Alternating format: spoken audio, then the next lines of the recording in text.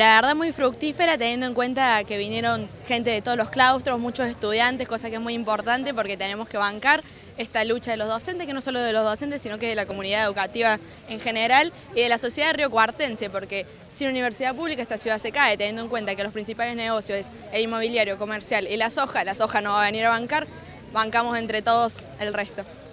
Coméntanos, eh, siempre se habla cuando hay paro de la cuestión estudiantil que se pierden horas de clases, eh, ¿cuál es eh, el análisis que haces o la opinión que tenés en cuanto a esta medida de fuerza que por ahí se bastarde en cierto sentido por ese argumento? Claro, totalmente. A ver, la posición de que